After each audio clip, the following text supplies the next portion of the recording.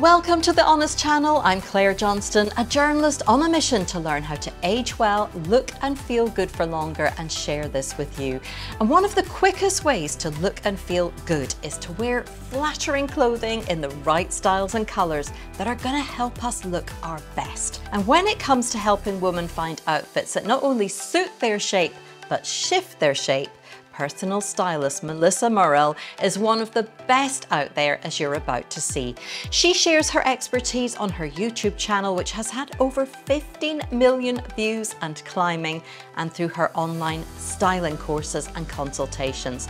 And if you're retired or a stay-at-home parent or you work from home, you may feel as I did that you've got yourself in a bit of a style rut where you're dressing for comfort and convenience and it just chips away at our confidence day by day. So now we're going to get our very own free consultation with Melissa as she reveals the styling secrets to flattering our individual body shapes at any age and getting our mojo back. Melissa, welcome. Thank you so much for being here. Thank you for having me. Well, you know, this is a really interesting one. As you can probably tell by my outfit, I should have completely rethought that. But lovely. I like those colours on you. Thank you. Um, you've been a, a personal stylist for over 20 years now, is that right? Show my age. I know. Yeah. Uh, well, I've been in journalism for nearly 30 years. So, I mean, okay, right. right there with you. And I know that through your YouTube channel and your website that you've helped probably millions of women look and feel better about themselves. So I'm also focused on helping people look and feel their best as we age. But what do you think are some of the most common misconceptions around style in, in mid and later life that kind of hold us back? Do you think people can get themselves into a bit of a style rut as they age? Yes, definitely. Definitely a style rut. Um, but in terms of the myths that black is good for them, Mm, mm, mm. Okay, I'm covering the arms. Yeah, that black is the best color, and it's not when you get to our age at all. Um, unless you unless you wear a full face of makeup, mm-hmm. then you can you can carry the black off. But generally speaking, uh, black is very aging and draining. The other myth is that black goes with every other color. It doesn't. And so it makes it very, very hard to create a capsule wardrobe when you've got a lot of black in it that they can't wear neutrals, they can't wear sort of the creams and the beiges and things like that, where everybody can wear it. It just depends where on your body frame you put it, how close you put it to your face. Like even just the blouse right now, if I did that up, for example, it might drain me a little bit.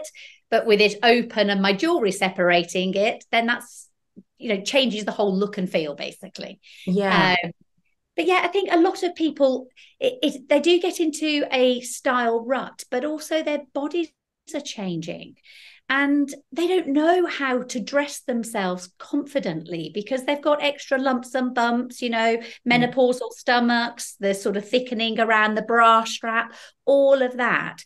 And so you've got a lot of women of our age lacking confidence anyway because of all of the brain fog and everything else we know that's associated, but also the weight gain. Then they don't want to buy clothes until they've lost some weight, but they can't lose weight because of all of the lifestyle factors happening at the same time. And then they get into quite a, a negative rut and cycle with clothes whereby they just throw on anything.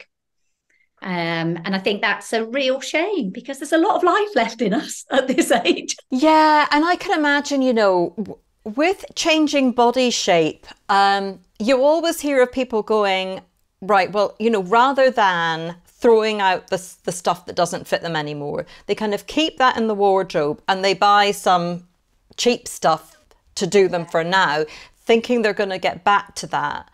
Um, and so in some cases they will, you know, that's that's motivation. Um, but, you know, our body shape can change as we age. I mean, what do you advise around that? Do you, do you sort of go embrace the moment and shop for now? if I can pick up on the point about trying to be motivated by the smaller pair of jeans that are in your wardrobe. Mm. I actually think that's really, really damaging because mm. every morning when you open your wardrobe and you can't wear 50, 60% of it because it's in the wrong size, because it's holey, because it's old, because it's dated, it puts you on a real downer to start the day. You know, you've yeah. got somebody slapping you in the face every morning saying you weren't where you used to be. You haven't got the clothes ready to wear that. So, the first thing that I would advocate is to clear that wardrobe out of anything that you can't wear. And that's not only because you can't fit in it, but because it doesn't suit your lifestyle anymore. Um, many of us have moved to a more casual lifestyle now. And yet, if we perhaps, you know, pre COVID and we're working in the city or whatever, we've got a whole wardrobe full of things that just aren't relevant. And so that reduces the portion down of what we can actually choose from in the morning as well. So um, you can see kind of quite a nice style of clothes mm. behind me at the moment. And that's literally because I've just filmed a how to build a capsule wardrobe video um, for my channel. And the whole premise of that is don't listen to these influencers who tell you you need a black pair of trousers, you need a white shirt, you need this. You don't need any of that if it's not relevant to your lifestyle. Mm. It's almost picking up on um, following people on Instagram, thinking, oh, I've got to have that, I've got to have this. Where if you're in the house all day, or if you're a retired lady that barely goes out, then 95% of your wardrobe should reflect that lifestyle, not the fantasy lifestyle where you're still in heels and a nice dress.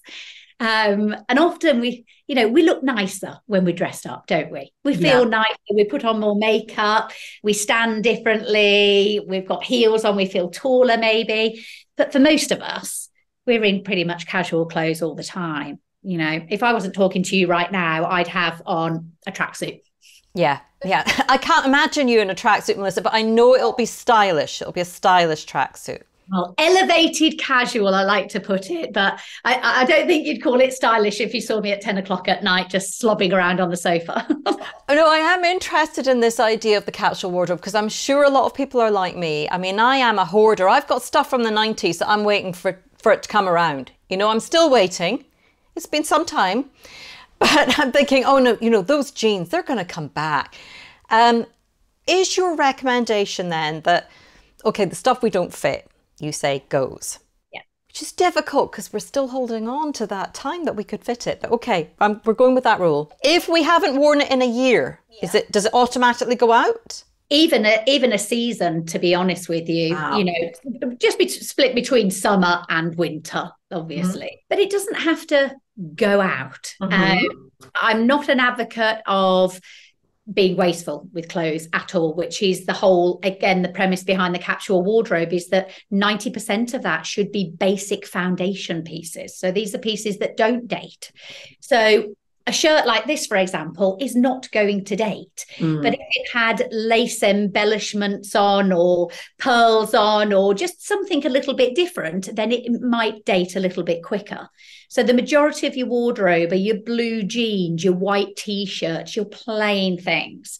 So each season, you'll find that you don't have to throw them out if you've bought um, correct foundation pieces to begin with you know, yeah. i.e., that, that won't date in the first place. But if we are looking at throwing things out, then you know that comes into two or three different categories. It's definitely charity shop, never just throw out.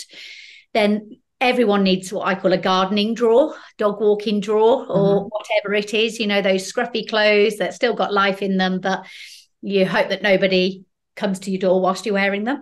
If you do feel that you want to keep the taffeta bridesmaid dress for sentimental reasons. You never know. You never know. You never know. It might come back round again.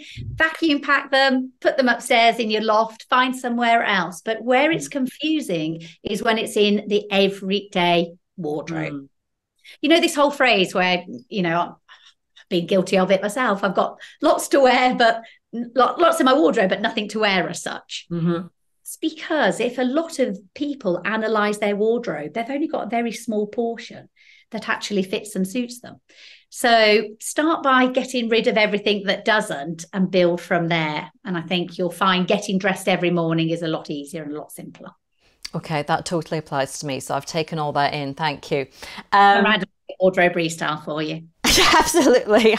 I'm going to have to take a lot out of there, I can tell you. Do you think that we need to alter how we dress as we get older? In that, do you think certain rules should apply as we age as to how we dress? Or do you think we should be able to dress exactly as we choose? Just whatever we feel like. Okay. Um, yes, I think you should. In summary, yes, I think you should be able to mm-hmm. dress exactly how you want to that makes you feel confident in your lifestyle. Is probably a, a summary of that. Um, what I don't agree with is that somebody is wearing really dated clothes and they're wearing them because they don't have the knowledge obviously budget is a different thing but if they mm-hmm. don't have the knowledge of what to choose or how to update that look slightly then i think for that person that there's loads of help out there. And people invest in you know all myriads of other things but they tend not to invest in themselves. I see a lot of women who have now got a very casual wardrobe but they're wearing their husband's joggers and their husband's old t-shirt to mm-hmm. walk around the house in so invest in those pieces if that's what you're wearing. Mm. Why do you mm. invest a stupid amount on a wedding guest outfit to look your best for one day of the year, but you won't invest in what you're wearing every single day. Mm. So, yes, I think they should wear what they like, but yes, I think they should really be able to self-assess and make sure that they're wearing what's what they like, what's confident, what makes them feel confident, and what's right for their lifestyle. And I mean, there's so many you know, fabulously dressed um, celebrities now who are in uh, mid to later life, lots of wonderful role models. I wonder when you look at, say, somebody like Madonna, who is really pushing boundaries with what she wears. You know, so we're talking, uh, I'm thinking swimsuit, but you know, it's like a costume suit. I don't know, what would you call that? Uh, a body suit. Not a lot covering the bottom at the back. What's your view on that? Well, Madonna can probably do what the hell she likes, quite frankly. But um, would it suit Mary Jones up the road in my village? Probably not. Well, I think Mary Jones might have something to say about that, but you know. you know what? If if Mary Jones has the confidence to go out and the personality to wear that, then why not? Yeah. I think being realistic about it for my audience, the people that come to me, um, to our Style Academy to get help, they they aren't fashionistas in the first place. Mm-hmm. They aren't people that have got this um, you know, huge personality that can carry off the Carrie Bradshaw type of look. Yeah. Everyday women who are wearing a pair of jeans and a jumper and they just want to look nice in it. Yeah. Really. Yeah. So I think for that person, you know, dress for your confidence, dress for your body shape, and dress for your lifestyle. Don't dress to look wacky because you think somebody else is doing it in the public eye. Do you know, I feel similarly. Um, but what, what I often think about Madonna, um, and one of the reasons I actually like her is that she push, pushes boundaries on all fronts. So, you know, whether it's the facial procedure she has or whatever, she is pushing boundaries and it moves them for the rest of us. It gives the rest of us a little bit more wiggle room so that there's not this sort of expectation. And I quite like that. I mean, when I think back to my mum when she was 50, that's my age. You know, I mean, I think she dresses more youthfully now. It was just in recent years that she started getting into jeans and uh, just dressing a little more youthfully. And I love that we have the opportunity to do that now. You know, I don't really think I've changed the way I dress that much over the years, and that suits me. Um, and it's it's nice to be able to kind of have those boundaries pushed. It always filters down. Mm. Whatever the likes of Victoria Beckham, Madonna, any of those, it filters down. And so we might present something to a client that isn't everywhere in the shops, but we know is going to be somewhere in the mm. shops that client needs to be quite fashion forward in their thinking. They need to be open to new things and not just following the rest of the crowd of what they're seeing in Marks and Spencers, for example. That notion, that concept doesn't really resonate with the majority of my clients, the majority of the everyday women out there. They just want to look nice in the moment, feel confident, and I think more importantly, flatter their body shapes. Yeah. Because it's their body shape that is driving their choices at the moment. And as soon as I can show them that I can get them back into that hourglass shape, regardless of the size of their boobs, how big or small their belly is, flat their bottom is, if I use the hourglass balancing method, which is our uh, method of styling, when they when they see how we can get them into that, that then gives them the freedom to start dressing a little bit more aspirational rather than what they think they should be dressing like you know, it bridges that gap between now I can see what Madonna's doing and now I'm down here, but now I've been shown how to do it a little bit more. I'm somewhere in the middle and I'm quite happy and confident with that. You talked about dressing uh, for body shapes there, and I'd love to run through some scenarios with you. Um, one point though, before we do, I I'm because I'm just sitting here thinking, right, right now I'm sitting here in a really worn pair of Uggs that would horrify you. Um, no, love, love a warm pair of Uggs. and you know, it's winter, and I do find myself just you know throwing on anything in the morning, and I wonder if the psychology should more be we try to dress for ourselves um, to impress ourselves every day at home. Do you think that's important?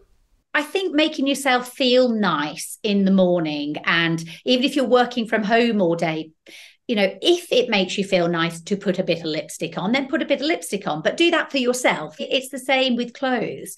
I think it goes back to my point earlier on, though. It's when you haven't focused on the right pieces in your wardrobe for your lifestyle to begin with, your choice is very limited. And therefore, we just grab anything. But if you were to switch that round and go, well, okay, I'm going to invest in the clothes I wear all the time. So I'm going to put some nice casual pieces in when you get up in the morning, you've only got nicer pieces to choose from. Am I able to get up? Like, oh yes, please. I mean, I'm I'm salivating over what's there in the background. Well, it's the, the type of thing that I teach people. Just as an example, right now, well, let's let's just even look at these three items here. Mm-hmm. So, right now, I've got a pair of green, quite smart trousers on with a smart a, a, smart shirt. Yeah, you look beautiful. I, thank you. If I was just to change that up and just put yes. a jumper yeah, really nice. Equally as um, sort of looks nice and pre- presents nicely, but more cozy, more mm-hmm. for just pop into a friend's house or a work meeting or something on those lines. But equally, when I get in later on, I just want to change my jumper up for something a lot more, um, a lot more casual looking. I might put the matching pants on, for example. Mm-hmm. Reason I've been able to make those swaps I can see a white t-shirt on there as well. If you had your white t-shirt, your shirt, this and that, I've been able to elevate my outfit really easily because all of the items are in the same colorways. Okay. Right. They're okay different fabrics, different thicknesses. I've got different necklines up there, you know, a tur- turtleneck in a cashmere jumper, for example. And as long as you stick to similar colorways, then you're going to be able to elevate and um, bring it back down to casual. Mm-hmm for want of a better phrase. really, really easy. Where people go wrong is that they've got the shirt in navy, the jumper in cream, the hoodie in a blue and white spot. And suddenly, in order to go up or down, they've got to change their trousers and their shoes and everything else. My advice would be just to stick to three or four colorways in your wardrobe. That way, everything mixes and matches perfectly. You get all your foundation pieces in those three or four colorways. Once they're all in place, you can start to insert a little bit of extra color and a bit more personality. But don't do that until all the basics are in place first. So, shall we run through some of those body shapes now? Um, so, for people watching who might have different problem areas, uh, I think probably a lot of people will have in common the stomach fat, you know, particularly that seems yeah, to get worse with these popular videos how to disguise a larger stomach let me give you the classic shape of um like we often refer to it as an apple shaped lady um where she's got a larger thicker stomach mm-hmm. um, and that might be protruding outwards but also there's a thickness around it as well often the weight goes around the back but then their legs remain really very slim and then they've got a flat bottom. Probably one of the most um, common figures that we see as we start to go through the menopause and as weight sits around there and they lose it off their legs. And what that lady will tend to do to disguise her stomach is that she will focus on her legs. Okay. So she might put her tight, skinny trousers on her legs because that's her thinnest part. So then what she does is she puts a big baggy jumper over the top to cover perhaps the larger bust and the stomach. And then all you see is these little legs sticking out there. But what have you done there? All you have done is exaggerated. You've made yourself very brick like all on top. You've given yourself the Mr. Strong or SpongeBob SquarePants. Anyway, SpongeBob SquarePants. Yeah, I love SpongeBob, but yeah, yeah, it's not it's not the best look. Yeah, that, and you've highlighted these teeny tiny legs, so you've mm. put, you've exaggerated the very area that you are trying to hide because the proportion difference is now even greater than it was before. Does that make sense? Uh, I, yes, and I can see it. You know, even when I started styling um, years ago, that's what I was taught to do as a stylist. It yeah. was highlight their good bits, disguise their bad bits. But as I started obviously getting more confident with my style and seeing all the thousands of women that I've had, I realized that that just wasn't working. What is better is if, if we put everybody back into an hourglass shape. So, how we do that on somebody who has got a larger stomach is if that's your largest area, so this is your stomach area here, the only way to make that stomach area look smaller is to broaden the shoulders and broaden the hips, because then the stomach in the middle is the smallest part of you rather than the widest part of you. Wow soon as you start using the terms broadening for yes. a lady who is already feeling broader on top, then that's a really scary thing. Mm-hmm. So I quickly realized you can't tell people that. You have to show them that, which is what YouTube has been great for doing because I dress the women live on my channel and they can actually see the difference. But when you do go like that, for example, with a lady that's got big bust, that bust is going to look smaller Mm-hmm. Okay, because look, yeah. you've gone bigger. So suddenly that's going to look smaller. So we broaden there. All of this is going to look smaller. And then we kick out at their hips as well. And that will disguise the stomach. So that's the first thing you would do. Mm-hmm. Thing, if the um, the season allows for it, then layering is fantastic.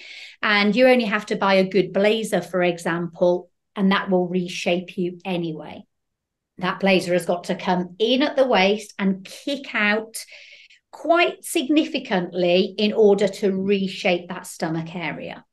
Okay. But if a, la- if a lady's lifestyle doesn't warrant a blazer, what do you do? Then it might be perhaps a long line cardigan where you're only seeing this small bit here. Mm-hmm. So there are various techniques, and you always put a lady back into her her hourglass shape then you use the clothes to add layering and disguise very obvious bits. Okay. I was going to ask about the bigger chest not something i'm obviously not asking for myself um, so even on that i spend my life in padded bras and the reason yeah. i do that is because i'm larger on my hips. Okay? right okay if I suddenly, if I looked really flat chested there, it's going to make my hips look bigger. So I broaden here to give me some shape back. Because if I'm flat there and I don't have anything on my shoulders, what's going to stick out? So even on myself, I am making myself look at little tucks in my in my blouse there. Yeah.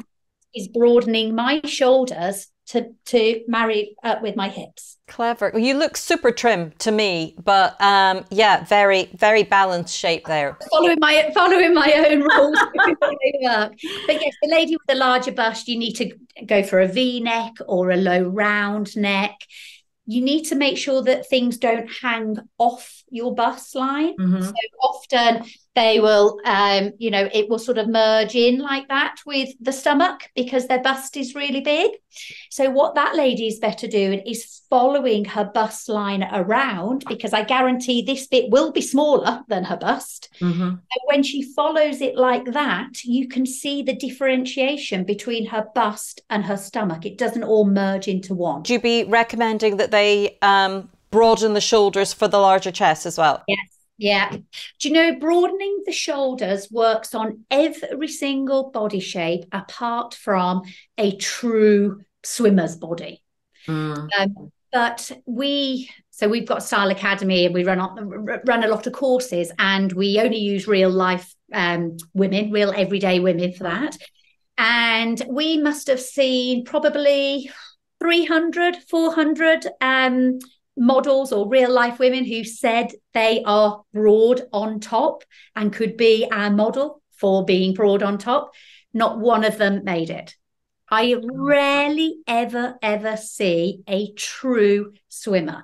We'll have people and they'll say, Yeah, no, I am definitely. And when I turn them around, they're broad here on their back. Oh, there. yes. Uh huh. Where they're broad, your shoulder bone starts here. Okay. They need to be broad. Well, that person, if they are genuinely broad there, wouldn't wear any sort of shoulder embellishments or shoulder pads. Mm. But apart from that, every other every other shape could do with that. But even that, you need to be practical with your lifestyle. Mm-hmm. You don't want to go around in the summer with a big hot shoulder pad flapped over your shoulder. Yeah. yeah. So that's where a collar will broaden you. You know, mm-hmm. that is broadening. Mm-hmm. Those little tucks are broadening. Um, it might be a different contrast in fabric across the shoulder bit. It will be the stitching that is on your shoulder and not on your drop sleeve. It, you know, a drop sleeve there is um, can make somebody look very rounded. And that's the other thing. If you've got a large bust or you are more rounded all over in your body shape, you need to create angles. So a, sh- a strong angle out there will make your bust look smaller and your tummy look smaller. Excellent. Okay, I'm learning. Um, the trade. Yeah, I love it. I love it. I want to come down there and just own that little capsule wardrobe behind you. But you know, I'll I'll check out the videos and see if I can pull one together for myself. Um, how about short legs? That's another that's another big problem, isn't it? If if uh, and especially if you feel like you've got the kind of longer body and then short legs with it. Yeah. That's a, quite an easy one, to be mm-hmm. honest with you. Um, and that is just reproportioning you. So let's say you have got a longer body, then wearing so a high waist like that yeah. is going to change the proportion here. So it's going to make my legs look a lot longer. If I pull my chair away, I can probably just don't know how much you'll be able to get there. Yeah. But I only have to give myself a lower waistband there yes. and my body has gone longer. Can you see the proportion difference? Yes, I can. And now. I've lengthened my legs. Okay. A higher waist. The myth with a shorter leg is that they believe they can't wear a cropped jean or a crop trouser. Yeah you can wear a crop trouser and it's actually very um, flattering on most ladies because you're seeing what is often the thinnest part of the body the ankles mm-hmm, mm-hmm. same with the wrists when you show the wrists as well um, but only if you're pairing that then with the right shoe mm-hmm. so for example i've got a little shoe here so if this was somebody's foot there if I didn't have that watch on there and they had a cropped cropped um a cropped jean on you see the, e, the, the foot there and the pointed shoe and everything is elongated mm-hmm.